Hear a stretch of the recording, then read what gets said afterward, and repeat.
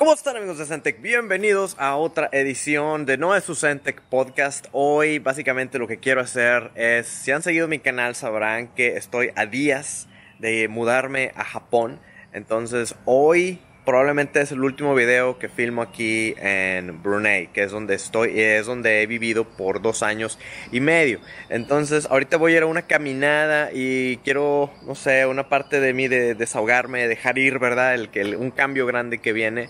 Uh, quiero platicar sobre qué es eh, el vivir en Brunei. Porque mucha gente, pues especialmente de donde yo soy, de Latinoamérica, de México, pues no tenemos mucho contacto y nunca escuchas para nada qué es Brunei, dónde está y todo eso, ¿no?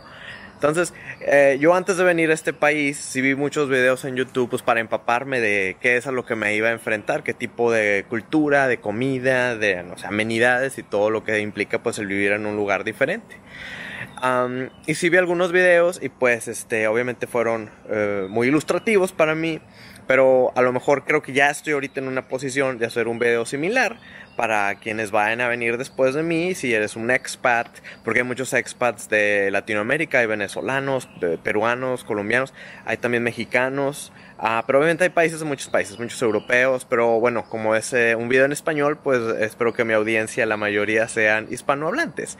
Entonces voy a ir por una caminada a ver si vemos changuitos aquí por el vecindario por el que yo estuve viviendo. Ah, y les voy a explicar, vamos a hablar un poquito de todo. Ya saben, este canal normalmente es tecnología y videojuegos. Ah, no me voy a enfocar en eso hoy, pero sí va a ser una pequeña parte de este video que vamos a platicar cómo qué tal está el mundo de la tecnología y los videojuegos también, porque es parte pues de la cultura. Entonces vamos a empezar a caminar y, sirve de que estreno esta camarita que acabo de comprar el DJI Pocket. que trae un gimbal que estabiliza el video, que es el que voy a estar usando en Japón para todos mis vlogs, así en Akihabara, estos lugares donde quiero ir caminando, porque el caminar con una cámara generalmente está así muy shaky y pues para el para la quien está viendo el video generalmente no es muy grato. Entonces, vamos a ver qué tal. No, ni siquiera traigo el micrófono, pues, supuestamente este trae un micrófono decente, entonces también, como les digo, me, va a servir como para dar dos pájaros de un tiro. Entonces, bueno, vamos a empezar aquí la caminata. Voy a voltear la cámara. Entonces, bueno. Uh, Brunei, vamos a empezar por el principio. Brunei es un país que está en la isla de Borneo. Ahora, ¿dónde está la isla de Borneo? La isla de Borneo está entre Singapur y las Filipinas y arriba está China y para el sureste está Australia. Entonces, eh, estamos rodeados de lugares turísticos, digamos, Singapur, eh, Tailandia, eh, Bali al sur, en Indonesia. Entonces, en un, en un avión así de unas dos, tres horas, estás en esos paraísos eh, afrodisíacos y terrenales que muchas veces es muy difícil llegar pues viniendo desde Latinoamérica. Pero aquí afortunadamente digo que ya que estás aquí en el sudeste asiático, pues es bien fácil llegar a este, a este tipo de lugares. Tailandia que está padrísimo, Bali que está muy bonito y barato. Y también hay muchos expats aquí de por ejemplo de Australia mi esposa es australiana, por ejemplo, para nosotros ir allá a Brisbane, que es por donde vive su familia, hay un vuelo directo y se tarda 7 eh, horas. Y creo que como 5 de esas horas es nada más cruzando Australia de lado a lado. Entonces no está tan lejos, estamos hablando de vuelos directos. Y el vuelo que voy a tomar a Japón es un vuelo que este también son como, ¿cuántas fueron? 7 horas de Bandar, que es la capital de Brunei, a Tokio que obviamente es la capital de Japón. Entonces está muy bien conectado aquí. Ah, esa es una de las ventajas de estar en esta islita. Y en esta, digo islita, pero no está tan chiquita. De hecho es una isla muy interesante, la isla de Borneo, porque entre sus curiosidades, esta isla tiene tres países. Esta isla tiene tres países y uno, eh, pues obviamente uno de ellos es Brunei, que es el más chiquito de todos, estamos acá al norte de la isla, eh, y tiene frontera con Malasia, que es el otro país que está aquí también, y al mero sur de la isla está Indonesia. Entonces compartimos frontera nada más con Malasia. Este, y lo chistoso de Brunei es que está como que quebrado en dos partes, dos partes que no están conectadas por tierra en Brunei. Entonces para viajar de una mitad del país al otro tienes que cruzar por Malasia, pero ahorita ya están terminando un puente que vas a poder cruzar eh, pues en carro sin tener que llegar a, Malasia, porque honestamente sí está muy bizarro que tu país esté cruzado por otro país, ¿verdad? Pero esos son ya reminiscentes de la historia del país. entre, pues, ha sido una isla muy activa en cuanto a comercio por su ubicación geográfica y a partir de 1929, que fue cuando encontraron petróleo por primera vez, pues de ahí en adelante este país básicamente de eso ha vivido. El 95% del Producto Interno Bruto de este país es por el petróleo.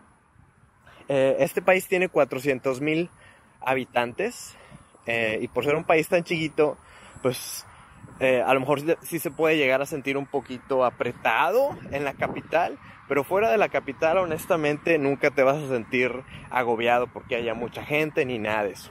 Y yo donde estoy, no, yo no estoy en la capital, la capital digamos está al este de donde yo estoy y yo estoy al oeste, del lado oeste de Brunei, que es el área de Kuala Belait y Seria. Entonces aquí es donde está básicamente toda la onda del petrolera, hay una refinería, hay muchos pozos petroleros. Y esta área de aquí en la que yo estoy caminando, aquí dice G3, G4, Simpang significa calle. aquí es donde viven puros expats. Toda esta raza trabaja generalmente eh, para compañías petroleras, este, que pues las puedes buscar en cuáles son las que hay aquí, ah, o relacionadas con ellas, ¿no? También puedes trabajar en educación, en tecnología y todo eso. No, no, no necesariamente tienes que ser un ingeniero eh, de petróleo para tener aquí algo que hacer en Brunei, ¿no? Y aquí, este, esa callecita conecta las áreas de estas casas que no sé si las estén alcanzando a ver. Ahorita se van a ver mejor. De hecho, ahorita voy a caminar a la casa en la que yo viví eh, por estos dos años. Ahorita estoy quedando a casa de un amigo porque ya está todo empacado, ya mandamos todo eh, de nuestras cosas pues a Japón y otro tanto se fue a Australia. Entonces al final de esta callecita ahí voy a dar vuelta y ahorita les enseño mi casa por mi ex casa por fuera que es donde estuve yo transmitiendo pues la mayoría de mis todos mis podcasts por ejemplo y la mayoría de los videos pues que hice en los últimos dos años y cacho. Que bueno Zente el canal yo lo empecé ya tres años lo empecé en Vancouver Canadá. Entonces ya va a ser tres países diferentes en los que Zentec ha estado basado pero bueno, eh, no quiero dejar el globo volar. hay unos pajaritos. Vamos a ver, ¿qué más les puedo decir? Pues mira, vamos a cubrir el aspecto del clima, por ejemplo, la fauna, la flora, todo eso. Quiero cubrir el aspecto religioso, que pues es obviamente algo que mucha gente tiene muchas dudas, porque pues es un país islámico. Y, y, en cuanto yo le dije a mi familia por primera vez, oye, pues me voy a mudar a un país islámico, pues inmediatamente tú te imaginas pues que allá acabas de andar ya en Irak y en, en, se llama? en Arabia Saudita y todo este tipo de cosas, ¿no? Entonces, sí, son muchas dudas, muchos mitos que pues quizá yo pueda decirte de primera mano. O sea, yo ni, ni, le voy a echar flores ni le voy a echar tierra, yo nomás te voy a decir cómo me fue a mí en la feria. Entonces, bueno, mira, vamos a empezar con el clima, algo, algo más tranquilo, ¿no? Eh, Brunei, la isla de Borneo, si la checas en el mapa mundi, estamos bien cerca de lo que es la línea del Ecuador. Entonces, cuando tú estás en el mero Ecuador, significa que básicamente todo el año vas a tener, no vas a tener estaciones. En el caso de aquí de Brunei, todo el año hace calor. No hay invierno, ni siquiera hay otoño y la verdad es que no creo que ni siquiera primavera. Estamos en verano todo el año. La temperatura nunca baja de 20, ¿qué te gusta? 24. Y, pero tampoco sube así, se dispara de que a los 40 ni nada de hecho, aquí yo creo lo más caliente que he visto en el termómetro es un 35, una cosa así, que no suena muy caliente. Por ejemplo, yo soy de Monterrey, México, que está al norte de México. Allá, en pleno verano, hemos llegado a los 45 y cuestiones de esas, una cosa ridícula. Aquí no, pero aquí la diferencia es que estamos bien cerca de la playa. O sea, si te vas aquí derechito, cruzas esos, esas plantas que se ven ahí al fondo, ahí vas a dar al mar. Eh, no muy lejos, unos 200 metros para allá. Entonces, todo esto aquí es el campamento, por cierto. Todas estas casas que estamos pasando aquí a mi izquierda son campamento, que les digo, son empleados de pues, las empresas que operan aquí la cuestión petrolera, ¿no? Casas muy bonitas, les dicen eh, Maple, no, Canadian Houses, como casas canadienses, y yo creo que son canadienses por el tipo de madera por el que están hechos. Bueno, entonces el clima. Hace mucho calor, eh, entonces básicamente está la época de calor, que es de enero a octubre, y noviembre y diciembre es la época del monzones o monzón, que le dicen en inglés, que son básicamente lluvias. Unas lluvias que, qué bárbaro, que dices, no, espérame tantito, unos torrenciales increíbles. Cuando llueve, llueve en forma en este lugar. O sea, si ves, está muy verde porque hemos tenido muchas lluvias. No quiere decir que nada más llueve en, en, noviembre y diciembre. O sea, llueve a lo largo del año, pero durante esos dos meses hay cuenta que se cae el cielo en forma de agua. Y es bien impresionante porque aquí es donde yo he escuchado los truenos más fuertes en mi vida y de repente suenan así que cerquita. Increíble, ¿no? Y las casas, mira, si esta, esa está vacía esa es una casa como la que yo vivía, de ese tamaño, porque somos nada más, mi esposa y yo. Entonces nos asignan una casa así, pero una casa pues bien amplia, porque por dentro teníamos cuatro recámaras, pues la cocina, la sala, la lavandería. Y luego aquí es bien común que todas las casas tienen así un, como un attachment, una casita así cerquita, un cuarto de perdido atrás que es el cuarto de la ama. Y ama, eh, si les dicen pues, la sirvienta, ¿no? Ahí a la chacha. Bien común eh, que, la gente que tenga ayuda, empleadas domésticas. porque dependiendo de tu situación, o sea, tú vienes aquí a trabajar y todo, pero aparte de las prestaciones, es que pues a los niños, eh, si tienes, hacerles de escuela y pues hay alguna, algún bonus para que tengas tu ama y tu casa está completamente diseñada, ya sea para que tengas una de estas amas, estas señoras, de tiempo completo, o sea, se, quedan a vivir ahí en ese cuarto y están pues todos los días ayudándote con la casa y con los niños y todo ese circo. O, o no, y depende de ti, por ejemplo, en el caso nuestro, mi esposa y yo, pues se nos hizo como que demasiado tener una sirvienta de tiempo completo porque pues no, no la necesitamos, digo, para dos personas, aunque la casa está amplia, pues no, no necesitábamos tanto, ¿no? Yo creo que si tienes hijos, pues igual es, ya es otro boleto, pero pues yo, yo no, entonces no te sabría decir.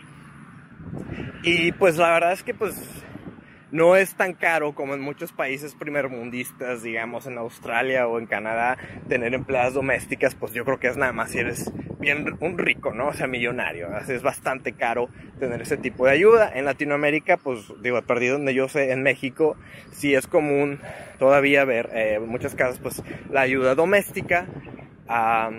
Tengo amigos cercanos que pues sí tienen, pero quizá no tanto que se queden a vivir ahí permanentemente, salvo algunas excepciones.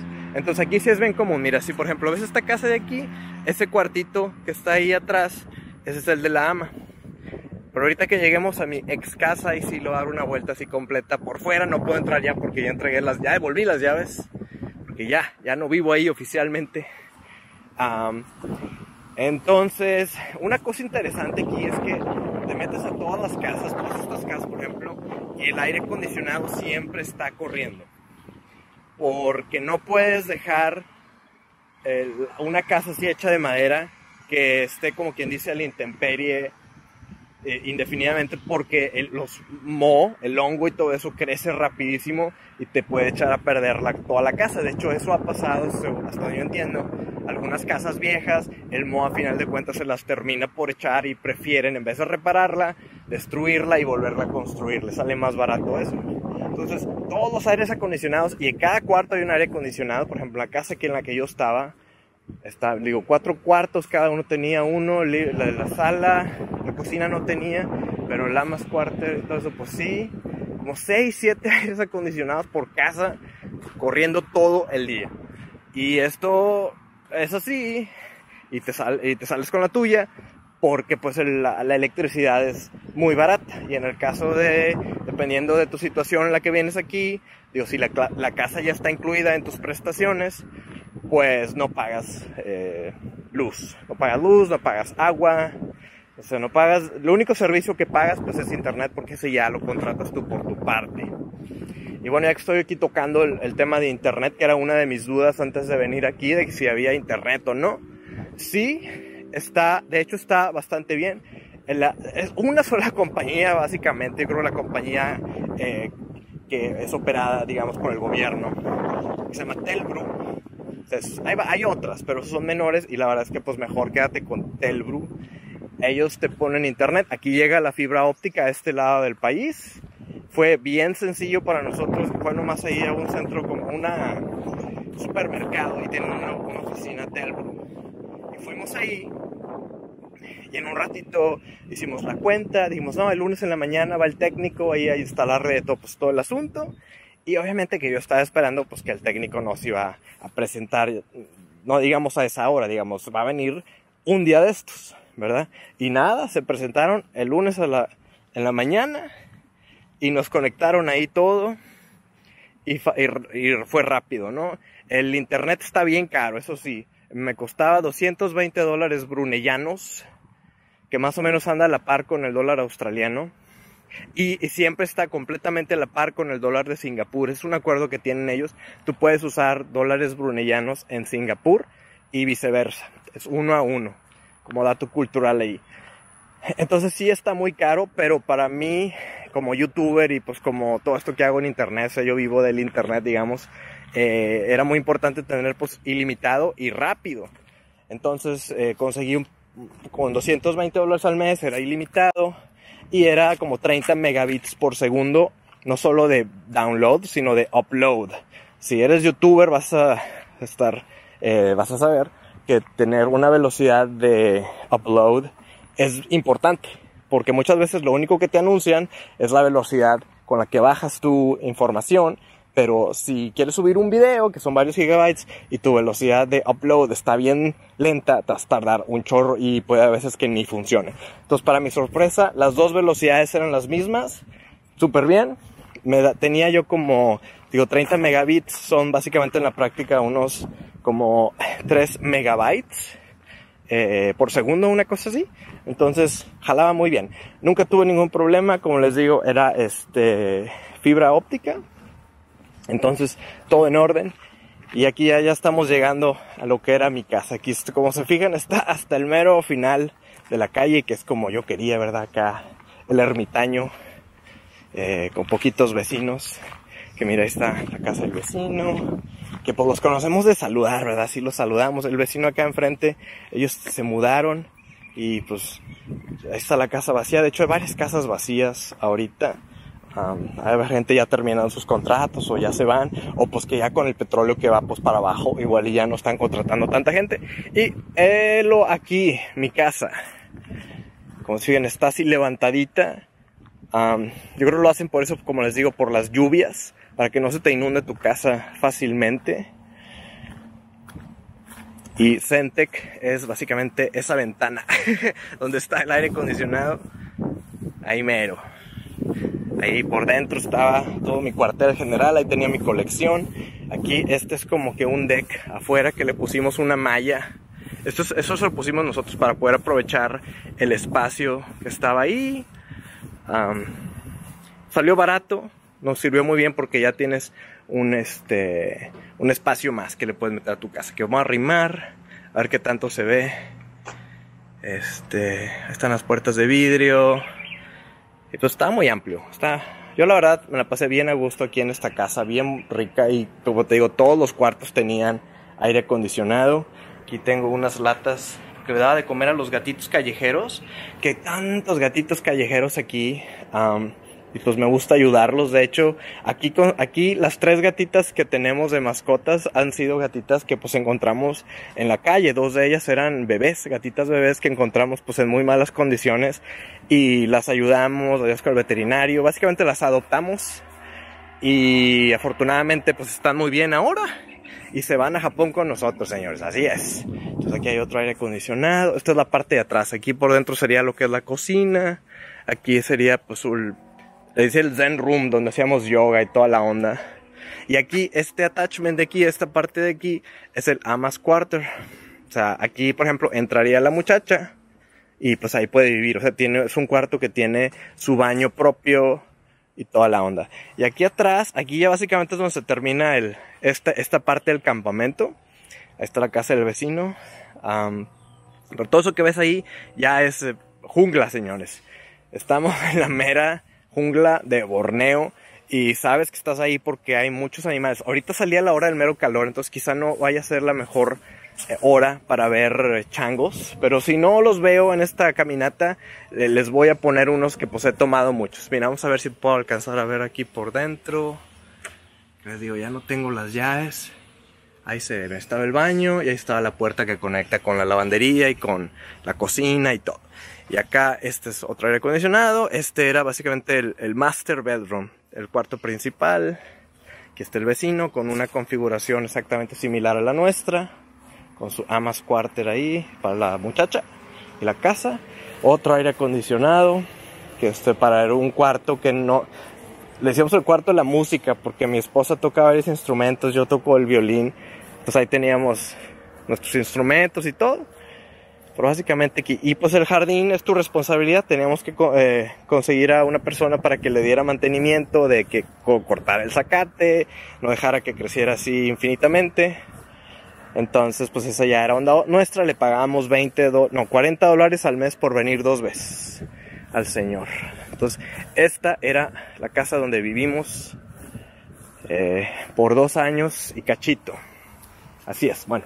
Entonces hasta aquí llega, voy a empezar a regresarme. Regresar para acá atrás. Y ahorita donde yo venía caminando, que vieron a mi derecha, vieron como una calle muy concurrida. Esta es una de las calles principales. Hay tres, tres calles, que es la autopista, que ahora pues bueno va a estar hacia mi derecha. Eh, la autopista que conecta con la capital, con Bandar. Y luego esta calle concurrida que le está diciendo que ahora va a estar a la izquierda. Y lo más para allá es una calle que va a lo largo de la playa. Y ese vecino ahí no se alcanzan a ver, tiene una, una eh, como jaula que ellos hicieron ahí para sus dos gatitos. Sí, mira, a ellos les fue bien esos gatitos porque a mí me encantan los animales, eh, los gatitos sobre todo me gustan mucho y me choca verlos pues en malas condiciones, siempre trato de darlos, llevo comida ahí conmigo donde voy por si las moscas y lo que me gusta mucho es que la gente aquí los trata bien. O sea, vas en muchos lugares y ves que hay gente que les deja comida, les deja agua, pero pues yo creo que todavía no ha llegado la cultura o ni siquiera pues el dinero, digamos, de esta gente para eh, esterilizarlos, para que no proliferen tanto. Entonces pues se da todavía mucho de que ves muchos gatitos desamparados. y luego la cosa es que hay gente que tiene 40 gatos también, o sea, se van al otro extremo, gente que pues les gusta mucho, pero luego resulta que los tienen en jaulas. Y eso a mí no me gusta. Y, la onda es que hay muchos chinos que creen que entre más gatos tengas, hay como que más felicidad en la casa o más abundancia y todo, o sea, como que algo de buena suerte. Pero pues si vas a tener tantos gatos, los empiezan a poner en jaulas y honestamente y eso a mí ya no me parece. No me parece, pero pues bueno, así, así es parte de la cultura, señores. Parte de la cultura, vamos a empezar a hablar si quieren un poquito de lo que es la religión, ¿verdad? Que quizá eh, es una de las dudas más fuertes, sobre todo porque en este año entró la siguiente fase de la Sharia Law. En el 2014 la implementaron la fase 1. Fue el, sultán, porque este, este, país es un sultanato, o sea, no es un rey, no es un príncipe, es un sultán y él pues, es uno de los hombres más ricos del mundo porque pues obviamente básicamente él es el dueño del petróleo y todo este circo y de las ganancias del petróleo pues vive él, vive el país. De hecho no hay impuestos en Brunei, no hay impuestos al trabajo. O sea, todo lo que tú ganas por tus tu labor en tu empresa y todo tu salario, no tienes que pagar impuestos, que obviamente es magnífico porque en cuántos países puede decir que sucede eso. Y generalmente en muchos países en los que es de que el 20, el 30, el 40, el 50%, una cosa así ridícula en algunos países europeos. Entonces, es una de las partes que es muy atractiva para los expats venir para acá. Porque pues puedes ahorrar mucho dinero. O sea, la vida es barata. Ah, no hay mucho que hacer para bien o para mal. Entonces pues tiendes a ahorrar un poquito más, salvo cuando te vas de vacaciones y pues ya, todo se vale. Pero el hecho de que no tengas impuestos, pues obviamente tu cartera lo, lo aprecia. Entonces, ah, cuando yo me vine aquí, te digo, este, este país ya era un país islámico con Sharia law y la Sharia law es básicamente la ley musulmana tal cual la dicta el Corán. ¿verdad? Entonces, si vas a Saudi Arabia, es yo creo que la epítome de lo que es la Sharia law. Eh, es una teocrat, eh, teocracy, ¿cómo se dirá en español? Una teocracia, donde obviamente pues, está la policía de Dios y la fregada, o sea, ese es el, un poquito más extremo. Aquí afortunadamente no hay, no es así. Sharia Law, muchos dicen que pues fue básicamente nada más un movimiento político, este, pues para verse bien ante el mundo islámico y la fregada, que la verdad es que no cambió mucho la vida de las personas. Eh, Sharia Law, el problema es que viene con penas muy severas por cuestiones, pues que ya la verdad son muy normales en el, en el, en el occidente. Por ejemplo, la cuestión de los homosexuales, el movimiento LGBT, toda esta onda, pues obviamente aquí eh, en la Sharia Law eso está penado y por muerte y que muerte por apedradas y, y por ejemplo gente que roba se le corta la mano y la frega no pasa, o sea, te lo voy adelantando, eso no pasa aquí en este país, no pasa, aunque bueno, este año, ya ven que les dije la primera fase entró en el 2014, bueno, en este año ya entró como que la fase 2, o sea, está como que más apretado el asunto, ya está más este, involucrado lo que es la religión en los asuntos de gobierno, de, política y todo.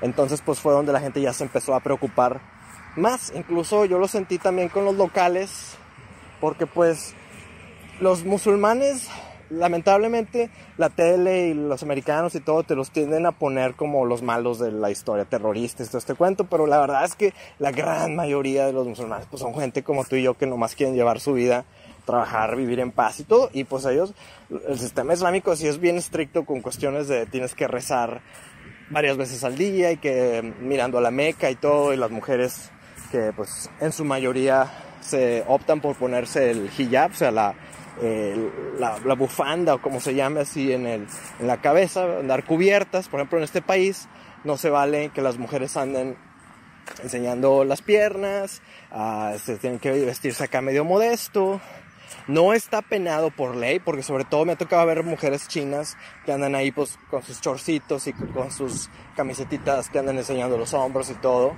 Que bien por ellas, o sea, obviamente en cualquier otro país del mundo eso no hay ningún problema, pero aquí supuestamente hay que ser más modestos. O sea, si eres...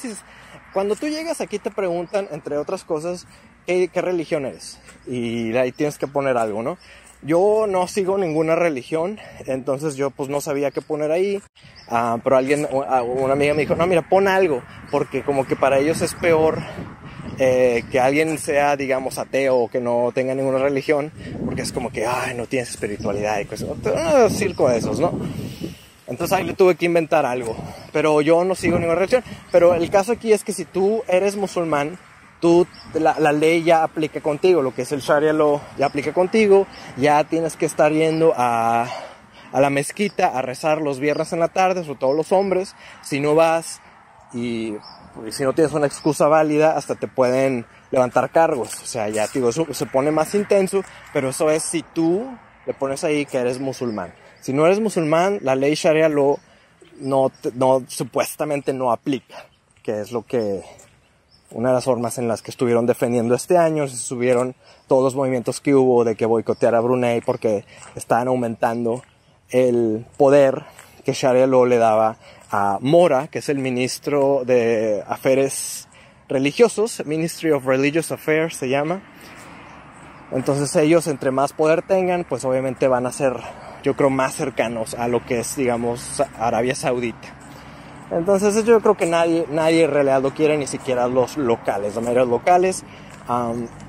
es un país donde no hay alcohol, como parte de ser un país islámico. No venden alcohol y eso significa que no hay clubs, no hay antros, no hay discotecas así como los conocemos, no hay bares o pubs, como les dicen. No hay, o sea, hay restaurantes, cosas así, pero en ningún lado te van a vender una cheve, en ningún lado te van a vender una bebida, nada. Eh, no significa que es ley seca en todo el país. Los expats, las personas que no son musulmanes, tienen derecho a, a importar alcohol ellos mismos, ah, pero en ciertas cantidades. Por ejemplo, aquí, que estamos bien cerca de Malasia, hay una ciudad que se llama Miri, que es la ciudad más cercana a, a Brunei con Malasia. Manejas ahí como en 20 minutos, 30 minutos de donde yo estoy, llegas al puente y cruzando el puente, Lolo lo que hay es una tienda de licores. Entonces mucha gente va ahí, compra, se surte para la semana, la regresa, pero pues tienes que, declararlo, tienes una, una cuota límite y lo tienes muy controlado, muy controlado lo que es la onda del alcohol. Yo no chupo nada, nunca me ha gustado el alcohol, entonces para mí eso nunca ha sido ningún problema, pero hay muchas razas, digo, porque vienen irlandeses, australianos, europeos, así de que, y pues los latinoamericanos, que también pues les gusta el pisto en lo general, entonces si hay mucha gente que aquí viene y pues se aburre, se aburre porque pues no hay ese outlet ahí de irse a pistear al antro o al bar y todo eso. Entonces lo que tienes que hacer pues es pistear en tu casa, o sea, con tus amigos y todo, pero es algo que tiene que ser a puerta cerrada, obviamente. Entonces es algo que es muy diferente. Si a ti te gusta mucho el pisto, te vas a tener que organizar para estar trayendo aquí de la frontera pues lo que te vayas a tomar y lo que te dejen traerte y que pues te juntes acá con amigos para hacer tus reuniones en la casa, pero esa onda de irse al bar no, no existe, no existe aquí. ¿Qué más no existe? Hay cines, eh, sí nos llegan películas, eh, las nuevas, acabo de ver El Rey León y El Hombre Araña Far, Far From Home, que pues ahorita se están también mostrando en Estados Unidos, entonces por ese lado no.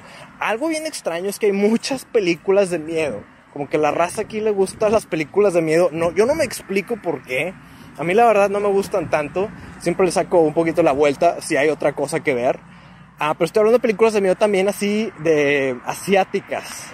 Mm, de Malasia o de Indonesia o de China y todo esto. la verdad no, no me interesa porque no creo que me vayan a, relacionar con el contenido. Y eh, las películas de miedo a mí, a mí realmente no. Ni me dan miedo y se me hacen muy falsotas y como que el suspension of disbelief no, no funciona conmigo en esas películas pero pues cada quien. Pero sí me llama la atención que un país tan conservador tenga muchas películas de miedo. O sea, no, no, no me explico por qué. Ah, hay un boliche aquí de este lado del país. Hay dos ciudadcitas así, que una que se llama que le digo Kuala Belait, que es la ciudad más cercana a Miri en Malasia. Y la otra es Seria, que es otra ciudadcita. Yo estoy en medio de las dos. Me toma, digamos, unos 15, 20 minutos en cualquier dirección a lo largo de esta calle de aquí donde están todos los carros. Si te vas para allá, es seria. Si te vas para atrás, Kuala Belait. Aquí en medio es Panaga, que es el área donde están los expats. Aquí ves a mucho güero, eh, ves a mucho pues moreno, pero pues de otro país, digamos, este, no, no local.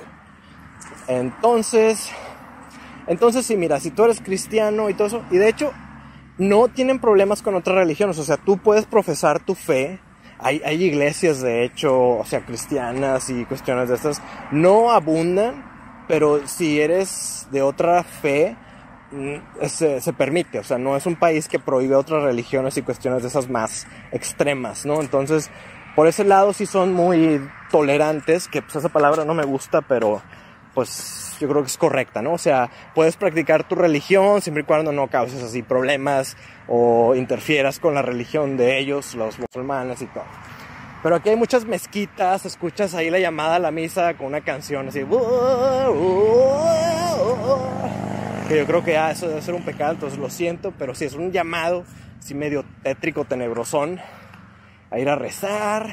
De repente ahí me toca oír en Bandar, que es la capital, que está, si te vas todo derecho para allá, vas a dar a Bandar, como, tardas como que como hora y media en la autopista, una hora diez, una hora treinta, dependiendo del tráfico. Ahí sí ves pues donde está el Palacio del Sultán, las mezquitas más grandes, ahí sí hay más restaurantes, más cosas que hacer. y por ejemplo, como les digo, aquí Zentec, pues obviamente es tecnología y videojuegos, específicamente videojuegos. ¿Cómo me fue aquí? Esta es la calle donde yo salí hace ratito, me fui para atrás. Entonces vamos a seguir un poquito para adelante aquí más para ver. Allí igual y llego al final del campamento y me regreso. Entonces, generalmente aquí hay changuitos.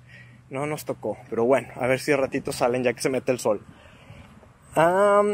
sí batallé un poco yo para tener los juegos más nuevos. Sí hay un poquito el delay, sobre todo en esta área de Brunei donde yo vivo.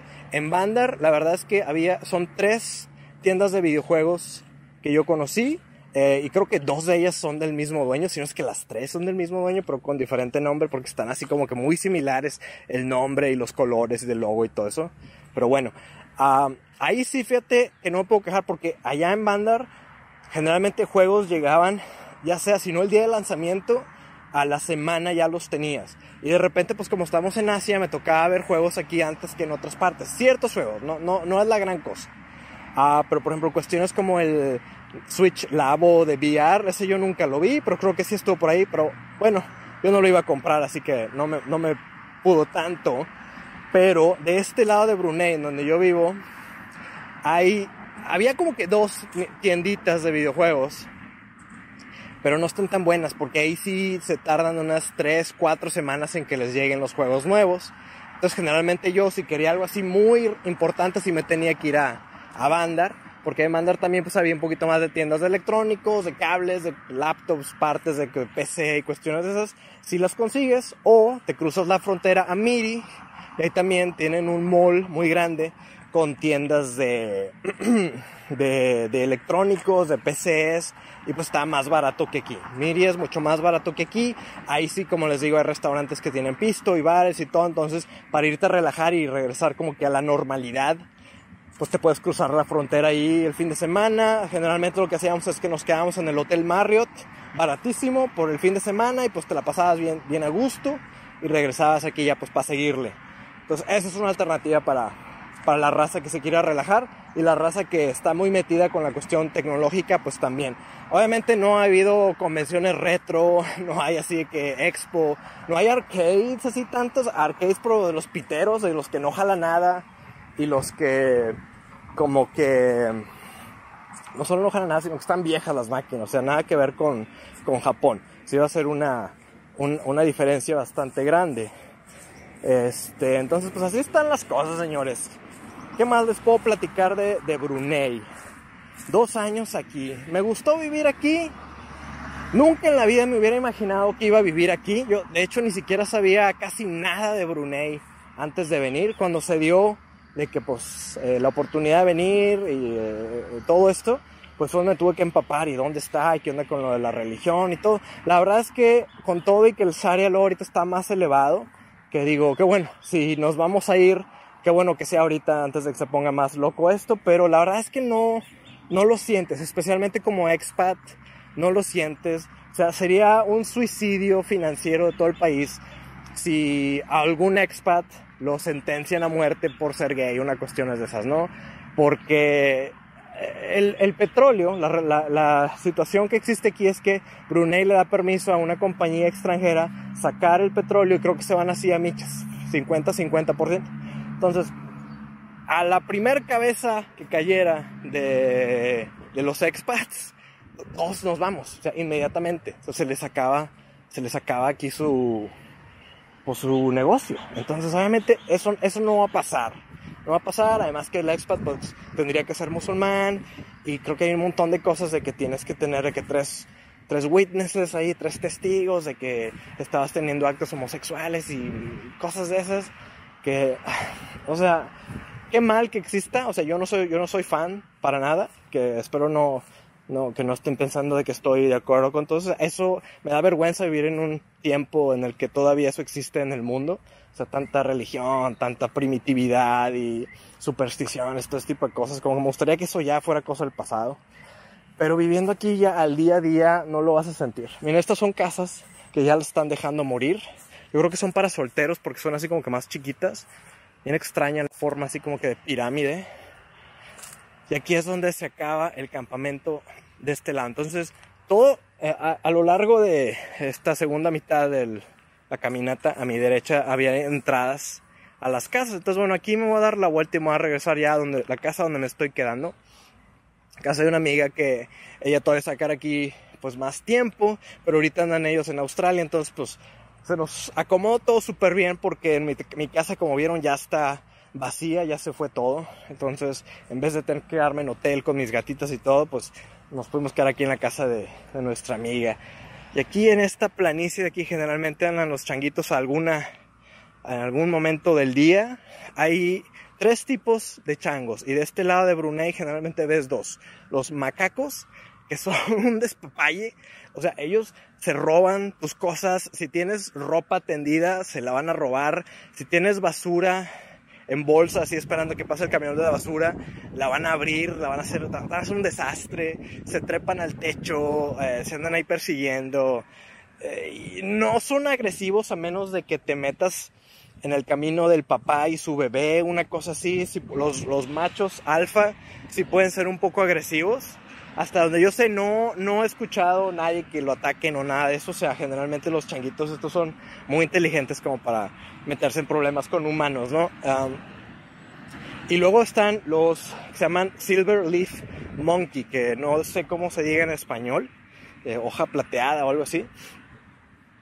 ellos generalmente los ves eh, arriba, en las copas de los árboles, no tanto en el piso. Y ellos como que son más refinados y sofisticados porque no interactúan con los humanos tanto, no hacen tanto escándalo, no andan ahí en el bote de basura buscando qué comer ni nada. Entonces, aquí la basura la tienes que poner en la noche hacia afuera del día anterior al que viene el camión de la basura. El camión de la basura pasa antes de que salga el sol, precisamente para evitar que los changuillos, porque los changuillos nunca están a la vista cuando el sol está afuera. Cuando el sol está afuera, o sea, ellos se van a dormir. No, perdón, cuando sol, o sea, en la noche. Nunca los vas a ver los changuillos ahí. Entonces, pero en cuanto sale el sol, luego salen a, hacer lo suyo y si ven una bolsa de basura la van y la, y la van a abrir. Entonces yo cometí ese error de no estar así el mero día con el camión de la basura en sincronía y me despertaba y estaba toda la basura por todos lados. Entonces, pues los entiendes porque pues aquí pues les estamos quitando su hábitat y pues ellos se tienen que hacer vivir de alguna manera. Y aquí lo interesante de Brunei también es que Brunei, eh, digo, no es un país grande, pero el suelo que tienen es muy fértil. Sin embargo, no hay nada de agricultura. Y la razón que dan, pues es que no, es que queremos conservar el rainforest, porque en el caso de Malasia y de Indonesia, aquí es donde está el apogeo del palm oil. No sé si lo han escuchado, yo creo que sí, que es una de las razones más grandes por la que los orangutanes y muchas otras especies ah, están siendo devastadas, porque cortan todas estas porciones gigantescas de bosque, de selva, y para plantar eh, las palmas estas para sacar el aceite. Entonces, de perdido aquí en Brunei no vas a ver eso, pero en cuanto cruces, la frontera, luego, lo ves el palm oil ahí en apogeo. Entonces, aquí eh, Brunei obtiene su comida importada básicamente de países aledaños, de Tailandia, Singapur, Japón, incluso Australia. El sultán tiene una granja, este, ¿cómo se llama? Eh, donde tienes el ganado que es más, más grande que el tamaño del país entero en Australia. O sea, ellos compraron una pieza de terreno, digamos, de territorio en Australia para pues, tener ahí sus vacas y todo para alimentar al país. En Australia, que está más grande que Brunei. yo no me la creo, pero pues que Australia está gigantesco. Entonces de ahí obtienen casi toda su carne. Casi nada, como les digo, es eh, producido localmente, porque obviamente todo el terreno pues lo quieren básicamente yo creo para exploración de petróleo, aunque la mayoría de las, eh, de las ¿cómo se llaman? Las torres estas de petróleo las ves eh, en la playa, los ves cerca de la costa. Entonces cuando tú vas aterrizando a Brunei, empiezas a ver a todos los pozos petroleros, los, los tanques, los barcos que lo, que lo cargan y todo. Entonces Sí, está en su plano apogeo todavía. Según esto ya han encontrado menos y menos, pues obviamente tiene, tiene sentido de que pues no va a haber petróleo para siempre. Y pues la, la verdad es que qué bueno, porque pues ya como especies necesitamos movernos al siguiente paso con energías renovables y cuestiones de estas, porque pobrecita la madre tierra, señores, nos la estamos comiendo a mordidas. Entonces, pues ¿Qué más les puedo decir? ¿Qué más puedo decir? Pues estoy feliz de haber estado aquí, la verdad fue una experiencia increíble uh, que yo no me esperaba. Dos años para mí es suficiente. Ya me estaba como que aburriendo un poquito porque si te gusta la vida tranquila y todo que es como a mí y yo me entretengo muy bien con mi internet y todo, entonces mis videojuegos no hay problema, pero yo creo que ya más tiempo igual si ya me hubiera aburrido un poquito de más. Y ahora sabiendo que pues voy a ir al contrario, voy a ir de, un extremo al otro. Voy a ir a la meca de los japoneses y la tecnología, los videojuegos. Entonces, la verdad es que estoy bien emocionado. O sea, en una semana yo ya voy a estar en Japón. Hijo, o sea, faltan cinco días aquí. Necesito ya organizar todos mis últimos pendientes. Y pues ya, ya es lo último de lo último. Y aquí ya pues estoy acercándome a la casa en la que yo estoy. Y si se fijan aquí ya estoy adentro del área G4. Y este, ve aquí la, los árboles, o sea, como les digo, estás en la jungla.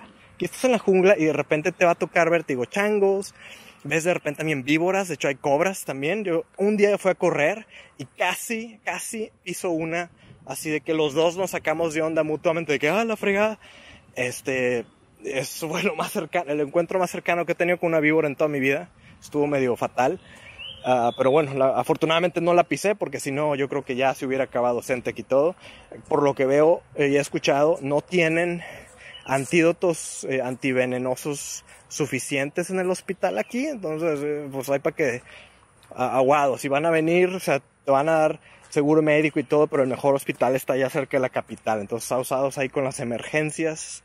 Un amigo, un conocido más bien, él le dio un ataque anafiláctico porque le, le picó una abeja y se lo llevaron al hospital, no sabían qué hacer con él y no fue nada más porque la esposa tenía guardada ahí una EpiPen de epinefrina que la, la, esposa le salvó la vida porque en el hospital no tenía. Entonces, afortunadamente yo soy una persona muy sana, como bien, le doy el ejercicio y todo, siempre me ha gustado eso, entonces no tuve necesidad de ir al hospital ni una vez que yo estuve aquí, no te sé decir de primera mano, pero pues por lo que entiendo está un poquito penitas en lo que es la cuestión uh, médica, aunque cuando es algo así muy serio y tú tienes seguro de gastos médicos mayor, sí, tipo Bupa y todo eso, que es el que nosotros teníamos por, por trabajo, uh, te vuelan a Singapur o sea, tienen ese acuerdo también, o a, o a, Malasia, en Kuala Lumpur, la capital de Malasia, donde pues tienen mejor, mejor equipo médico, etcétera. Y bueno, pues aquí ya estoy llegando a donde empecé.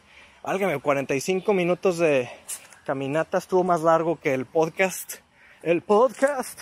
Entonces, pues sí, señores, eh, esto es Brunei. Voy a voltear aquí que me vean hasta despedirme. Y estuvo buena la caminada, haciendo el calor, como les digo, sabroso y muchos mosquitos, qué bruto, ¿eh? Yo estoy, les encanta la comida mexicana porque en cuanto salgo, empiezan a picar, pero no me gusta ponerme repelente tampoco, entonces hay un balance y si te estás moviendo no te pican tanto.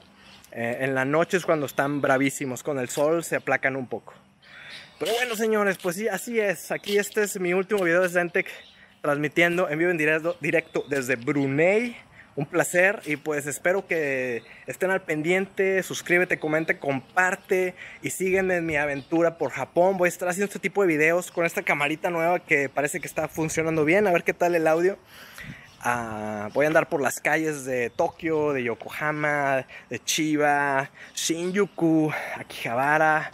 No, hombre, va a haber temas para rato, señores. Entonces aquí está, este es Carlos para Zentec. Buena suerte.